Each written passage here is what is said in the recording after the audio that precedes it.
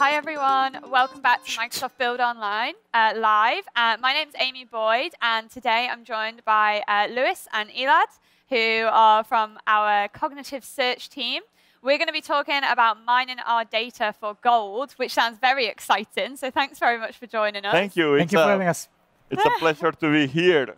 So, you know, we're talking about mining data for gold. And uh, the product that I- we want to talk to you a little bit about is Azure Search. We have a new capability that we uh, announced uh, generally available now that is called Cognitive Search within Azure Search. And uh, just so that we have a reference uh, for, the, for the discussion and for the questions, I want to start with a little bit of a diagram. If you don't mind projecting uh, the, the diagram on the screen. Um, Yeah. Azure Search allows us to, in a sense, extract information from different data sources. Uh, sometimes you have unstructured data like files, like PDFs, TIFFs, and so forth. Uh, or you may have a structured database, like an Azure SQL database.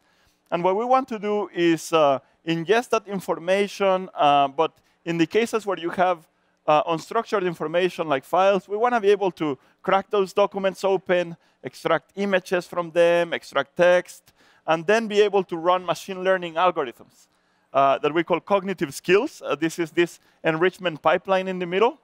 Uh, we have a ton of built-in skills that you can uh, run your documents through. Maybe you want to find printed text in images or handwritten text, or maybe extract different types of entities, such as organizations, locations, and places uh, from those uh, from from the text Yeah. uh, in order to get structure. And now that you have a, a structured uh, information, now that you have this tree of information, then you can feed it into a searchable index. nice. And we have a new, a new capability okay. uh, that is now in public preview that we call the knowledge store. The knowledge store. And right. this knowledge store allows us to project this tree of information that we extracted into uh, tabular uh, shapes or into object shapes uh, so that you can actually do other things beyond search, such as uh, maybe you want to do analytics on Power BI or train your own machine learning models. Uh, so we're very excited about that capability as well. Nice. And Elad has a super cool demo to show us on, on, this, on this area. Okay, great stuff. Whilst we're just switching over to the demo, if you do have any questions in the audience or online, please go to aka.ms Microsoft Build Live, and you can ask those questions there, and we'll get them up here, and we can ask Elad and Luis whatever we want to know. So please do send them in. Okay, should we take a look at the demo then? Yes, please do. So what I've done is uh, I've tried to do knowledge mining or cognitive search on, uh, on build. So I've taken all the session information, speakers, decks, abstracts, uh, and I've run cognitive search on it. And to make this a bit more interesting, I've taken all the speaker information and I uh, uh, enriched it using the Microsoft Graph. So I extracted all the speakers, office location, job titles, uh, profile photo, Okay. and then I've taken the profile photo and I used Face API to actually enrich that even further and create sort of like a complex type that has all the information about a speaker face. Nice. So if I go in uh, and search, if you can show my, my screen again, I'll go in and search for a few things. So I have a search index here that is powering, uh, that is powering uh, the, the build sessions data. Uh, so if I go and search for my name, for example, I'll find all the sessions that build that I'm, I'm in it, and you can see this is actually our session as, uh, as we go through uh, right now. But that's actually uh, pretty boring. I can actually run a, bunch, a bit of uh, more complex queries. For example, show me all the sessions that have speakers where the profile information, face, bold value is more than uh, 0.5, so they're like more than 50% bold. Uh, yet they have more than 50% sideburns, and I don't know, have glasses, reading glasses. So I'm going to run this kind of query on the same database. And there's one result I can go and, uh, and look all the way back. He's a senior program management in his 40s. Um, his name is Jeremy Kelly. Uh, So apparently, some uh, gentleman uh, uh, answers all the queries that I put in this crazy, crazy query. Okay, and, and Elad, but you told me that you took that information and, and actually dumped it into the knowledge store to do some analytics on it. Yes, so I've actually went and did exactly that, if you can show my screen again. And I've taken all this thing and, uh, and projected it into uh, our knowledge store, into a set of tables. And from there, I put a Power BI dashboard on top of this. Oh, so now, for example, we can answer the, the question of uh, uh, what, what does Jeremy Kelly look like? So I can uh, uh, use the Power BI built-in queries. And this is Jeremy Kelly that we talked about earlier Yeah, on. has So you can see it has all the required characteristics. I can do a bunch of other uh, uh, fun stuff. So I can go in and run a, uh, a Power BI query on, uh, I don't know, uh, show me uh, all the uh, bold speakers uh, by their age. let's use binary baskets where bold is more than whatever 0 0.5. And what I see here is a, is a graph that shows all the uh, speakers based on uh, buckets of age, 30, 35, 40, that are more than 50% bold. You can go and explore them and see all the, all the photos. Uh, let's show you the, the oldest and the boldest. So you see like Satya and, and whatever. Now, uh, you would expect to see Scott Guthrie here, uh, being an old and bold uh, gentleman, but apparently that, that doesn't work. So let's figure out what's going on. Like, why isn't Scott, why isn't Scott here? So if I go and search for Scott Guthrie here, uh, let's see his profile photo. So Scott uploaded a profile photo from like 25, 30 years ago uh, where he has a full headset of hair, hence he missed our bold, uh, our bold qualifier.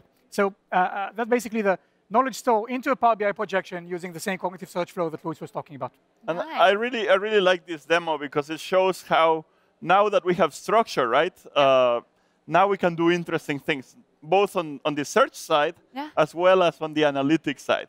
Ah, because I really like the fact that you've been able to access that from Power BI, right? Whereas previously it was in Azure Search yes. and you got all of that like sort of, you know, amazing information. But now, so so the the projections or the knowledge store, that's that's in a storage account, is it? That's kind of like a that, that's built, that's refreshed, and then you can access that from many different places. Have I understood that yes, right? Yes, absolutely. That is goes into your storage account, and then you can choose how do you want to use it through blob APIs or through Azure Tables, and then you can slap a Power BI dashboard on top of it or anything that you want to do. No. And, and, by the way, we had several sessions at Build. Yep. There was one that was just focused on the knowledge store. So if you uh are interested, I recommend you take a look at that one as well. OK, right, because yeah. they'll all be available online. So definitely go and take a look at all those different sessions that you guys have been in. That's really cool. And so when um, we're creating a knowledge store, we go, uh, sorry, when we're creating a cognitive search project, we go via Azure Search. It's not a separate thing, right? It's, it's all together.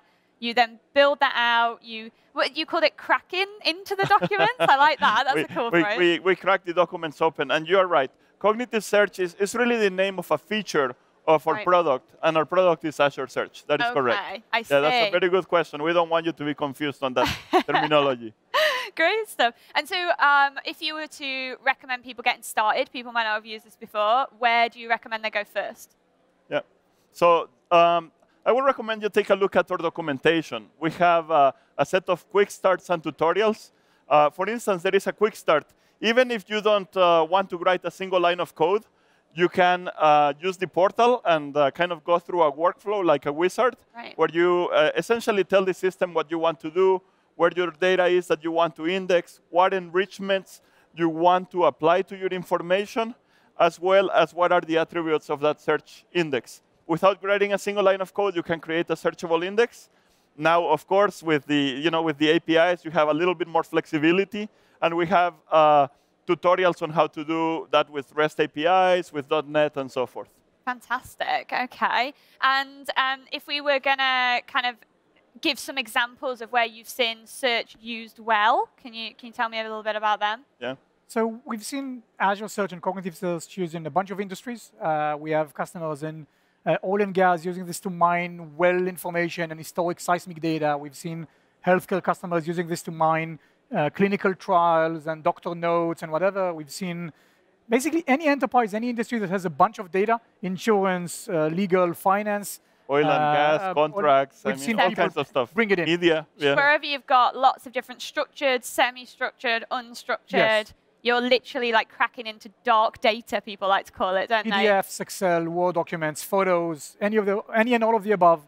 Feed into a blob or whatever and let cognitive search mine this for information. Fantastic. We actually have a question from the audience. So uh, Martin has asked us, can I use Azure Search and Knowledge Store on my OneDrive for Business account data files? Is that, is that possible? So, so what you will have to do there is create some kind of logic app ah. that connects to your OneDrive and then connect it into one of the Azure data sources that we support. Right. Such as, in this case, probably Blob Storage will be a good